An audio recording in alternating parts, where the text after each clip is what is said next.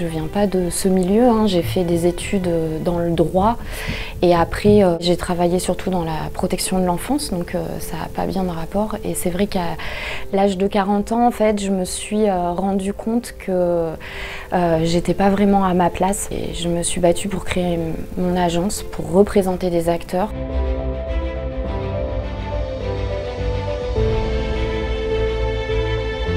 À l'affût euh, de tous les projets qui, sortent en fait. Mon rôle c'est de regarder ces projets, les rôles qui sont recherchés, dépouiller et euh, vraiment décortiquer euh, mes fichiers comédiens pour voir qui va correspondre à tel rôle. Il faut être en capacité de pouvoir lire des contrats de travail, c'est des contrats de travail, hein, donc il faut quand même avoir des notions juridiques. Il faut être réactif je pars tout le temps, euh, entre guillemets, avec mon agence, c'est-à-dire l'ordi, l'iPhone qui est tout le temps sur moi.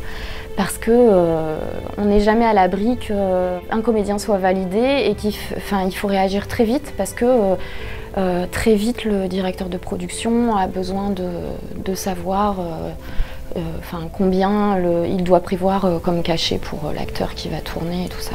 Mon ancien métier m'a apporté cette, valeur en fait que on doit faire attention aux gens, on est face à des humains, on gère leur carrière professionnelle, c'est leur vie.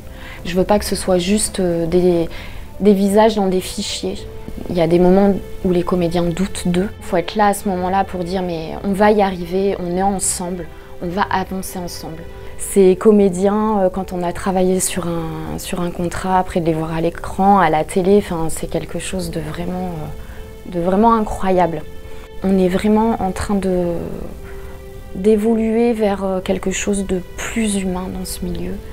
On ressent que, que ce soit les directeurs de casting ou les agents et les réalisateurs, qu'ils ont de plus en plus envie et besoin de simplicité, de gens simples, de, travailler avec des gens simples.